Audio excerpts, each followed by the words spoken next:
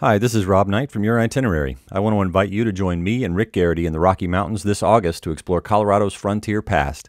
We'll shoot trains, ghost towns, and lots of interesting characters along the way. Oh, yeah, and the scenery's pretty nice too. Find out more at digitalphotoadventures.com. Thanks, Rob. And I want to let everyone know that I still have a few openings left for my workshop in Cuba in early November. Just head on over to dougk.com slash workshops. Thanks.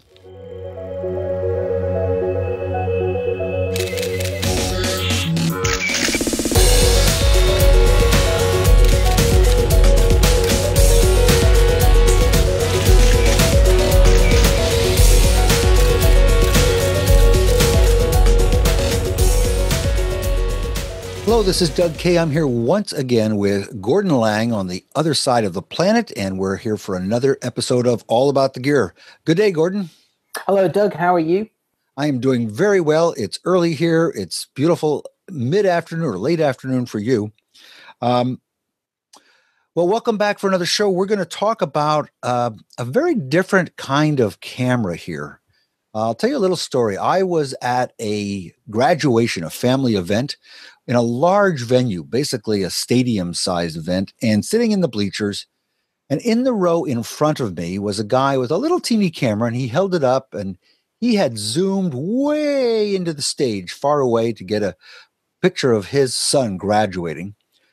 And I was amazed looking over at his shoulder because he had essentially a full height image of his son, rock solid, steady shooting video. And I had to tap him on the shoulder and say, What the heck is that camera? And it was uh, a Sony something or other at that time. And I didn't pay a lot of attention until I read your reviews of this type of camera, and uh, I, I, was sort of fascinated by them. So we're going to take a little departure from the high end uh, cameras and talk about these guys. What, what, what are these cameras, Gordon? Well, I think we call this category the pocket super zooms or the travel zooms, and it was invented back in 2006 by Panasonic. And back in 2006, compact cameras were in their heyday. Well, maybe not their heyday, but certainly not in the doldrums as they are now. Back then, there were so many different types of compacts. You could get ones that were very slim, ones that were very attractive, ones that um, had slightly bigger sensors than normal. And then Panasonic came along and went, you know what? Let's introduce this new category where we try and squeeze the biggest zoom possible into this compact body. And this was at a time when three times and five times zooms were kind of the norm in this form factor. So they came out with the TZ1. This was a five megapixel camera in 2006. It had a 10 times optical zoom, 35 to 350 millimeter equivalent. And it was amazing. People couldn't believe it. It was like the story you just described there. You'd, you'd start at wide angle and you'd start zooming in and you'd get closer and closer and closer. And it wouldn't stop. It was like, wow, this this is the most incredible camera of all. And it was a massive hit for Panasonic. So then they went to another generation of it, and still they were the only people making them. And then they went to another one, and gradually the other manufacturers cottoned on, and Sony reacted, Canon reacted, Nikon reacted, and now all of the manufacturers offer this uh, type of compact camera. And the interesting thing, as we fast forward to 2015, is that it's one of the few categories in the compact point and shoot market that is still thriving because of course the the three times zooms the budget cameras have been superseded by phones. People use their phones instead. If you're after something with better quality you can get a really large sensor in a fairly compact camera now or go up to a mirrorless camera. So slowly all of these different compact point and shoot categories have been wiped out by the technologies. But the one that remains is the compact travel super zoom camera and as we'll discuss in this show, the current optical range isn't 10 times, isn't 20 times, but it's 30 times optical zoom in a body. I'm going to hold up for people watching the video. This is the uh, the market leader. This is the Panasonic's TZ70 or ZS50 as it's known in North America. This is the size of camera that we're talking about, or even smaller in some cases. And believe it or not, this packs a 30 times optical zoom. All right. So for those also watching the video, uh, we're going to show you just a little clip of Gordon um, using this camera. I think it's in Brighton, correct? Yeah, yeah, that's right. This is uh, taken from Brighton Pier, looking back at the seafront, where we've got a great big uh, Ferris wheel. And I think this was taken when they'd removed all of the pods for cleaning or for maintenance. So you won't see a, a great deal on it. But it, what what amazes me is, as you said at the beginning of the show, is how you start off with this really wide angle landscape type view and you get closer and closer and closer to this amazing degree of detail that you can just pick out. I mean, just when you look at videos like this or you describe it, it's pretty obvious that you could this this becomes the perfect travel holiday camera or even for wildlife shooting or basic sports, that sort of thing. And typically the range that they're offering is between 25 millimeter equivalent, which is pretty wide, to 750 millimeter equivalent, which really is a super telephoto. I mean, that's a massive, massive zoom. There are longer zooms now. You can get 50, 60 times, even more than that in a larger form factor. But the critical thing about these cameras is they will squeeze into a trouser pocket. And that, that's still a very compelling offering. I mean, what, one of the keys to that example is how rock steady it is. And that's the stabilization in these lenses is quite phenomenal, isn't it? Yeah, well, I should uh, point out that that one was actually filmed from a tripod, but I also have lots of clips which are handheld that you can see in my reviews of these cameras at cameralabs.com. And the stabilization is utterly remarkable. As we've discussed many times on this show before, I'm not the steadiest of uh, of photographers. My hands do wobble quite a bit. So it's very good for me to test the stabilization on these things. And it is utterly remarkable, not just for stills, as you say, but for video as well, that you can so comfortably zoom from wide angle to super telephoto and keep a rock steady image. I've also used them in, in the example that you gave earlier in a in a concert where you're not not a music concert. Cause I, I have to say that's one of my real bugbears. What when you're at a concert, you're there to enjoy the show. Stop holding your phone up and recording it or your camera. And I'm not one of those guys. But, you know, if it's your kid's show or, or something like that, you know, discreetly point it in between the shoulders of people so you're not in the way of the person behind you. But being able to really fill the view with just your kid and maybe one of their friends is is amazing. And I, I love being able to do that and being able to do it handheld as well. It's remarkable. Now, when I first read your review, I decided I just wanted to check out these cameras. So I went out and bought what was the current version at that time. I'm holding up my bright red Canon SX700HS, which is in this same category. It has a 30x optical zoom, but it also has what's called a 60x digital zoom. What's the difference between the digital zoom and the optical zoom? Okay, this really extends the range but it does so by effectively cropping the image in the middle and enlarging it. And it can enlarge it with interpolation or it could just reduce the resolution. There's lots of different ways you can do it. But the bottom line is it's not actually delivering any greater detail. So that at least for stills anyway. So the optical range stops at 30 times. That's when the actual optical lenses stop magnifying the image. And beyond that, what's happening is an, is an electronic zoom effectively. It's taking a, decreasing area in the middle of the picture and stretching it to fill. Now, there is one place where this can actually work, and that is when you're filming video. Because if you think about it, these cameras are what 12 to 20 megapixels in resolution. That means they're about four to 5,000 pixels wide, the still images that they're capturing. Now, if you're filming 1080p video, that frame is actually just under 2000 pixels wide. So really, you've got a lot of spare pixels left there. When you start off with say 4000 wide, you've got twice as many as you need. So it is possible on some cameras to do a very clever digital teleconverter effectively, which crops a 1080p frame from the middle of the sensor and enlarges it with no loss of resolution because it was only really delivering a two megapixel image to start with. As I understand it though, not all of these cameras, or indeed maybe not even any of these cameras, do that. This is a kind of feature that you would only really see on a higher end camera, such as Panasonic's uh, mirrorless cameras. Some of those offer that digital teleconverter facility, which does a one to one crop from the sensor. So typically, that's a very long, typical Gordon convoluted way of saying digital zooms are not always a great thing or rarely a great thing. They're just kind of generally, especially for stills, they're cropping a little square in the middle of the picture and enlarging it so you're reducing quality. You could do it afterwards you know? I mean if you got a took a still picture at 30 times and then just cut out a bit in the middle then you've effectively given yourself a 60 times or a 100 times zoom anyway. So always take digital zooms with a pinch of salt when it comes to still photography. And and speaking of resolution um, Panasonic did something unusual when they went to this version from the previous version regarding the, the resolution of the sensor. Gordon, tell us about that. Yeah, that's right. So in this show, I really wanted to discuss four models, the four current 30 times zooms from the market leaders. There's Panasonic's TZ70, or as I've said, it's the ZS50 in North America. There's the latest version of what you've got there, Doug. It's the Canon PowerShot SX 710HS. There is the Nikon Coolpix S9900, and there is a brand new one, the Sony HX90V. That's a Cybershot camera. It's not launched by the time we made this show, but I have handled that camera at a Sony preview event. These are the four main products for 2015. Now, there's going to be others by some of the manufacturers. I'm sorry I can't cover everything in this show. Now, they've all got 30 times optical zooms. They all have Wi Fi with NFC. These are things that they all have in common. However, one of the first things that they differ on is resolution. And interestingly, the Panasonic TZ70 or ZS50 has the lowest resolution of that pack. Uh, the Canon's the highest at 20 megapixels. Um, after that, there's the Sony at 18, the Nikon at 16, and now the Lumix here with 12 megapixels. The previous generation was 18. It's gone down from 18 to 12. And the reason Panasonic have done this is that all of these cameras, the reason that they can pack such a massive optical range into such a small body is because they only have to satisfy the requirements of a tiny little sensor. They call it a 1 over 2.3 inch sensor. It's, it's tiny, it's like a, a kind of little fingernail size sensor.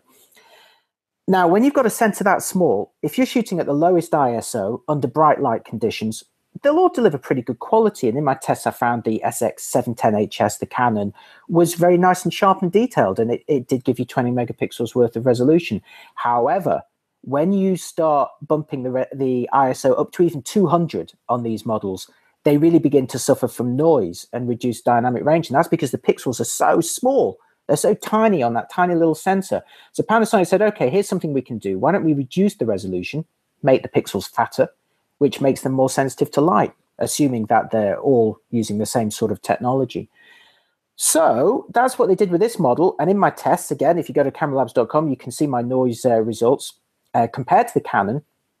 And indeed, it delivers a slightly cleaner image at higher ISOs. But conversely, given very bright light, at low ISOs, the Canon resolves slightly more detail. To be honest, though, there isn't a great deal between them. I wouldn't myself make a buying decision based on their resolution. They're all delivering roughly the same quality. One of the interesting differences that makes the Panasonic unique compared to the other three models I mentioned is that it's the only one of uh, the group to be able to shoot in RAW. And if you're used to shooting with a bigger camera, you'd think, RAW, wow, yeah, I use RAW all the time. That's brilliant. I'm going to go for this one then. However, where you may be used to retrieving some highlight detail or some shadow detail with a raw file from a big sensor camera, you're not going to be able to do that with one of these cameras. That tiny little sensor, there is no headroom on it at all. So you're not going to be able to retrieve any lost highlight or shadow detail. About the only thing you can do with these raw files is adjust the degree of compression when you go to save it out. And of course, also adjust things like the white balance more easily. So when you look at cameras like this and you see that it's got RAW, do remind yourself that it's not like having RAW on a DSLR or a big mirrorless camera with a big sensor. Now, how sharp are the images from this? You know, uh, we all think, great, I'd love a 720 millimeter full frame equivalent lens, but how are those images going to look when I'm zoomed all the way out to that focal length? Well, inevitably, what happens with a long optical zoom range is the contrast suffers at the long end. They start off looking brilliant at wide angle, and as you zoom further and further in, the images typically become softer and softer. However, the manufacturers are getting very clever at compensating for that and applying greater contrast or of course that's something that you can do either in the picture profiles or on your computer or on your phone when you when you're sharing it later on. I actually find the quality from these cameras remarkably good even fully zoomed into 750 or in this case 720 millimeter equivalent. I mean it's remarkable to me that they work at all so the fact that they deliver quite a respectable looking image and again i've got sample images from all these models if you want to download them at their full resolution and they they look very respectable i'd i'd be pretty happy with them and that again is because they've got this tiny little sensor, so they can, believe it or not, produce quite good quality optics, even even in the constraints of a, a body this size. So would you, you know, when we think of focal lengths of that length, we think of things like uh, shooting birds, going to Africa, and you know, mm. photographing the wildlife, or even sports. Does this is this a camera you'd consider for that application? Yes no. I mean, that's the dream, isn't it? Is that you could take something like this on a safari or to a sporting game and get amazing pictures. Well, you can, so long as the light is good and the subject isn't moving. Okay. So, in other words, for, for, bird, for, for birds that don't fly in the middle of the day, and for uh, uh, maybe gymnasts before they're moving when they're ready for their warm up outdoors, right? Outdoors, yeah. Because remember the if I mean if I just read the specification of this lens, the focal ratio of this when it's zoomed in is f six point four. That is not particularly bright, which means you're going to really be shooting in dim conditions at say 1600 ISO with a camera like this. These cameras do not look great at 1600 ISO. You know, that's a tiny little sensor, remember. So, first of all, the, the image quality is not going to be that great. Secondly, the focusing on them is not very, very fast, especially when you're looking at tracking a moving subject. So, for birding, actually, you can just about get away with it. If the bird is sat in the tree and it's not doing a great deal, you can get some pretty good shots with this around Brighton. Uh, I mean, in the sort of best case scenario where I live in Brighton, it's a seaside town. We have a lot of seagulls. They're outside during the day in the middle of the, you know, bright sunlight. I can get some great pictures of them with these. But if it's in a tree and it's dawn or dusk, it's going to be struggling. It's not going to look as good. You've got to be realistic about this. And I've been on a safari not with one of these cameras, I, I should add, but I do remember that some of the animals were moving very quickly, but some of them were not moving at all. They were they were keeping very still. So you've got to kind of rein in your expectations. If the if the subject is not moving very much and it's under fair lighting conditions, then you will get a fairly good result with a camera like these. But if it's getting dimmer or the subject is moving, you're going to be disappointed, I, I would say. It, it's certainly a, a, heck of a lot smaller and less expensive than my big Nikon kit with maybe a 200 to 400 millimeter zoom. Rather remarkable. But like you say, uh, I wouldn't expect anywhere near the same kind of experience. Mm, definitely. What What about? Talk to us about what it's like to use this camera, the controls, viewfinder, LCD. How how does this camera feel to you in the field? Well, you've mentioned something very, very important. Uh, of those four cameras that I uh, mentioned earlier, they all have different ways of composing. Now, if I turn the TZ70 or ZS50 around, you'll see in the corner here, if you're watching the video, if you're not, I'll just describe it. In the corner, top left corner of the camera, when it's facing you, there is a tiny little viewfinder window. Now, this was a feature that was brought in on the previous model, a little electronic viewfinder. Now, the view it gives is tiny. It's very, very small and it's not very detailed. On the new model, it's still tiny, but they've increased the resolution. So at least it looks quite sharp. But the important thing about that is it lets you hold the camera to your face to compose. And that now gives you not two, but three points of contact. You've got your two hands and your face. And believe it or not, that gives a lot of extra stability. And when you're shooting at 720 or 750 millimeter equivalent, especially if you're filming video, that extra stability really, really helps. And of course, there's the other benefits of, of a viewfinder, which is being able to shoot more comfortably under very bright lighting conditions. So for me, this is a real killer aspect of the TZ70 or ZS50 is having that built-in electronic viewfinder. But it's also something that the Sony HX90V has. Although they've done it in a different way. You'll see on the Panasonic, or as I described, the viewfinder is always visible in the top left corner. However, what Sony have done, oh yeah, now the downside of that is look where look where they put it. It kind of sits above the screen. So you've got this kind of blank area above the screen and it makes the camera taller. And it also means that the aspect ratio of the screen is wider than the native image shape. What Sony have done is exactly the same as what they've done with the RX100 Mark III the viewfinder pops up from the top surface. So it's not ready to use if you just hold it up to your eye. You've got to spring it up and pull it back to bring those optics out. But what that means, because it comes from the top, not from the back, it means that it can be shorter and it means the, the, the body rather can be shorter and it can have a 4 by 3 aspect sh- uh, shaped screen which matches the native shape of the images. What this all means, the bottom line is the viewfinder is not as quick to use as it is on the Panasonic, but it allows the Sony to be smaller. So there are two slightly different approaches of implementing electronic viewfinders, but again, when you're shooting at very long focal lengths, they're very, very useful things to have because they give you that extra stability. Okay, uh, that's great. I, I like that. You know, I was looking around here trying to find my Sony RX100 Mark III, which is one of my favorite cameras that has the pop-up viewfinder also. So um, uh, it's a great. I love having a viewfinder. I've said this many times on the show because uh, I wear bifocals, and if I have to use a rear LCD, It's not bad if I'm shooting down low or up high, uh, if at least if it has tilt. But if I'm shooting straight ahead, I have to do the old bifocal thing. I'm, I'm the old man with my head tilted back like this. And I, I find it's much easier at eye level to use an EVF. Um, when I'm shooting up high or down low, I love a tiltable screen. Speaking of which, I'm glad you mentioned tiltable screen. So on the TZ70 or ZS50, which I have here, if I turn it around, I've turned it on as well. So look, there I am. Oh, look at that guy. On a screen on the screen. Now, this is a fixed screen, and I feel very comfortable tapping it here because it is not touch sensitive.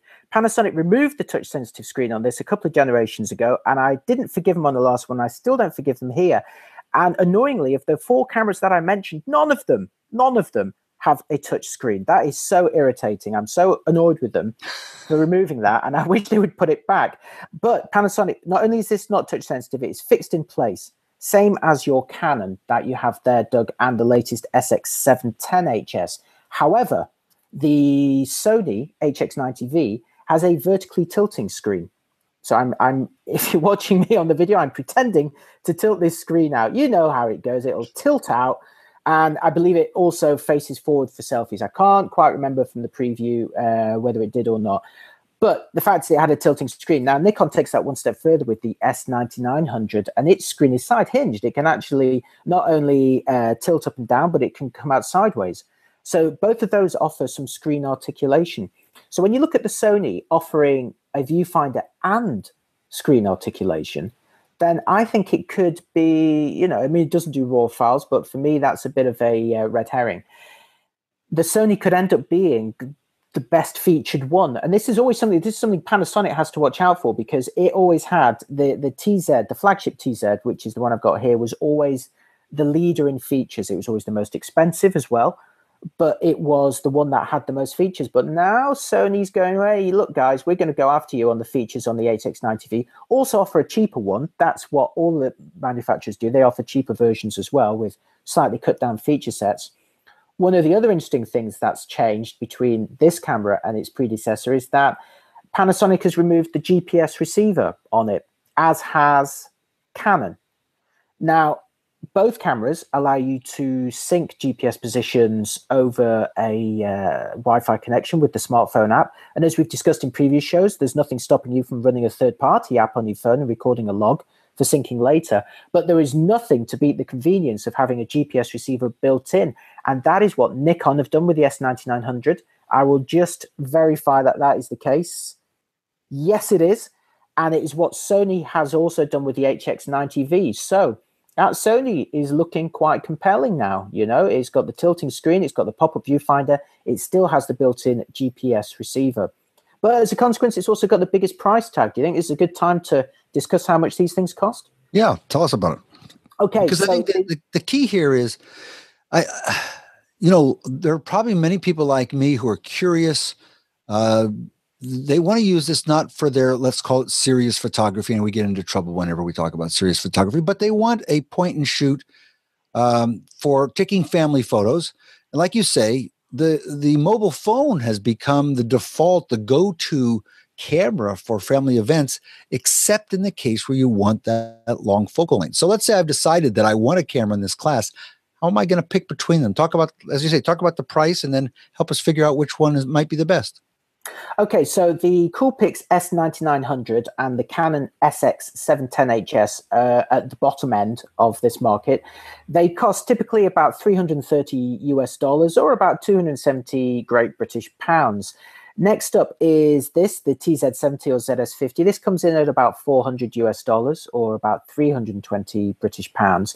So you're looking at about a $70 or a 60 pound difference between this and those entry level models. Um, certainly, compared to the Canon, if you think about it, this and the Nikon, you're getting an electronic viewfinder for that. You're getting the ability to shoot in RAW. So these are, I think, some pretty compelling things in the Panasonic's favor. You've also got, however, on the Nikon, the fully articulated screen. So that that kind of and a, and a built-in GPS receiver. So it's that that you've got to weigh up. and the cheaper price.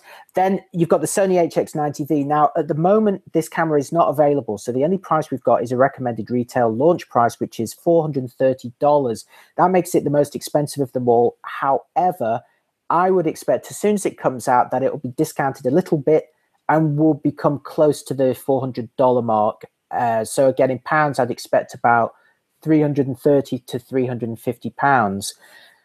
So again, you know, you're looking at spending 70 dollars 70 or 80 dollars extra to guarantee a, a viewfinder and i think and in, in the case of the the sony that tilting screen as well i think that's money well spent really how about you doug would you be willing if you'd already thought i'm willing to spend 330 on the these kind of budget models well not budget but you know the cheaper ones would you be willing to stretch another 70 bucks to get one with a viewfinder uh, I probably would. You know, at the time I bought this, I don't think that was was that an option at the time I got this. I think no. I went for one of the cheapest at this. Yeah, at this Canon. Point. Canon don't do one at that point yeah. with. Uh, no, with but I had the, you know I had the choice of the others that you reviewed at that time, and that wasn't that's not a brand new review. We should point out this is one that uh, that I used to base the decision on. It's essentially you're looking at the in some cases the slightly previous models, let's say.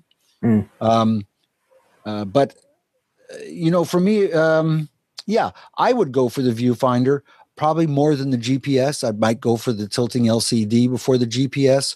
I love having GPS in the camera, uh, especially for travel photography, because I love to see where I was or street photography. I want to know exactly what street I was on. We've talked about the alternatives to having GPS built in, but it, like you say, it's awfully nice. The only problem is I find GPS tends to drain batteries more quickly than not having GPS by quite a bit. Um, and I'm glad you brought up batteries there, Doug. I, you know, that's another difference. That was that was my segue. My notes say, "Ask Gordon about batteries." Well, I'm glad you asked me, but I'm glad your notes told you to ask me about the batteries because three out of four of those cameras of, that we're talking about can be recharged over USB. Now, I get into big arguments with people about this. That I, for some reason, I keep coming across people who think that USB charging is a bad thing. They want to recharge the battery outside of the camera. Now, I can see the reason for that when you're looking at a higher end camera. They don't want to tie up the camera while it's charging. They want to be able to slot in another battery and go. However, with a camera like this that you take on holiday, most people probably will not have a spare battery. They will only have the one so the ability to recharge it inside the camera to me is very very useful because first of all you don't need to carry the charger with you because you already have it. It's it's the camera is the charger. Secondly you do it with a usb connection and there are usb connections everywhere there's one in your laptop. There's uh, one that you use to charge your phone or your iPad uh, that you brought along with you anyway. There's probably a socket in your car or a coach or an aeroplane that you're traveling in. If you're like me, you maybe have a, a USB battery that you use to top up your phone on, uh, you know, to last you through the day. You can use that same battery to top up these cameras. The exception here is the Canon SX710HS, which still uses an AC charging unit, which means you need to find a main socket, which you may not be able to do when you're traveling around that easily. So I think USB charging is uh, is very is, is very very useful in the camera in this category. Actually, to be honest, I think it's important in the camera in any category. I wish they all had it, but it's ex- it's particularly compelling in a camera that's supposed to be pocketable and that you're taking traveling with you, because if I'm say I'm at one location and I take a load of pictures, and then I've got a coach ride to another location, I can top it up in the coach, either on their own socket or on my laptop or with the portable battery. Not if I've got a an AC system though. I need to wait till I get back to my hotel room or you know until I get back home or to an office. Mm-hmm. So the ones that require AC charging are the ones where you really do need to buy a spare battery if you intend to be out and about for a while. So that that's another difference to weigh up between. Yeah, one one of the things now I don't know if it's true of all of these models, but something I noticed about this camera in particular is also that it retains a charge if it's unused for a very long period of time. I have an interesting use case for this camera, and that is I leave it in my car and it'll sit there for maybe two months without being used. Uh, and it's only when I don't, when I find myself without one of my other cameras and there's something I'm driving along and I want to photograph something somewhere, and it's there. And I take it out. I haven't used it in two months, and it at least it indicates that it's still fully charged. That's not the case for my bigger Sony's, even my Nikon's. They don't seem to hold the charge forever, but this camera does. Hmm. Maybe that should be a, a long term test. I mean, the the I like to think that I do some of the most detailed reviews around, but they, you know, they take me two to four weeks to do. But that means that I never have them for more than two to four weeks. So well, I plus, can't really comment on them, you know, how they perform after three or six well, months. Plus, plus you have to have the camera for a couple of months and not exactly, right? exactly, exactly. So that's quite a unique thing. However, if anybody's listening to this show or watching this show and has experience of this, please let us know in the comments because this is useful information to find out if one of them is necessarily better than the other. I should, however, say Canon have got a little bit naughty recently with their battery indicators. I'm not sure if you found this. I found that they can be slightly optimistic for a while. They go, oh yeah, three out of three, that battery life, three out of three, still three out of three. Oh no, it's flashing, it's flashing red. Quick, take your picture. And it's like, whoa, how did that happen? And that's happened now for me on several Canon uh, compact cameras and it's very disturbing because it seems to skip the the single icon, the single battery indicator, and jump straight from two or three to flashing red, and you're in trouble. Mm-hmm. And that again could be alleviated if they allowed USB charging. Because if it is going to run out that suddenly and not give you too much notice, then I would like an opportunity to top that up as easily as possible. Gordon, this has been a really interesting show because this is a category of camera that a lot of people who listen to this show and who read your reviews at cameralabs.com probably wouldn't consider. Let me ask you this Do you own one of these 30x zoom cameras yourself? I have. I uh, usually buy one every year and use it as a reference model. And I, I, generally alternate between the Panasonic and the Canon. The last one I owned was the SX710HS. I will probably buy the HX90V, the Sony, because even though it's the most expensive one, I find that combination of the tilting screen, the viewfinder, and the GPS hardware built in. That to me is, you know, and the you know the USB charger, you've got the Wi-Fi, the NFC, it's got everything. I think this, so long as the image quality doesn't suck, I hope it doesn't. We won't know until we test it. This could be this could be the best one in uh, in this category, definitely. So Panasonic could better watch out because Sony are coming after them. Well, very good. Gordon, I want to uh, thank you for this. I want to let everybody know that if you want to read more detailed reviews of any of these cameras, uh, in particular, I have a feeling that when that HX90V is available, you're going to be able to read about it on cameralabs.com. Head over there. And for $400, you can't afford not to buy one. And when you want to buy one of these cameras, also head over to cameralabs.com, buy them there, helps pay the bills. We really do appreciate that. Gordon, I look forward to being together with you once again for the next episode of All About the Gear. We don't know what we're doing quite yet, but I'm sure it'll be an exciting one. I would say, as a little preview, Doug, I'm fairly confident our next one will be on the Canon 760D, their latest mid range DSLR, known in North America as the T6S. And I'll be able to discuss the difference between that and the T6i, known as the 750D outside North America. Good old Canon's naming strategy. I believe that will either be the next one or certainly coming very, very soon. Well, very good. The one thing I've learned, the most important thing I've learned from this show is that it's much easier to pronounce ZS50 than it is to say ZS50. So I'm walking around the house talking about Zeds now, and my wife looks at me very strangely. is that because of the Zeds or, the, or something else? No, no, I, well, you'll have to ask her. okay. Gordon, thanks a lot. We'll see you next time. Cheers, Doug. See you later. Bye bye. Bye bye.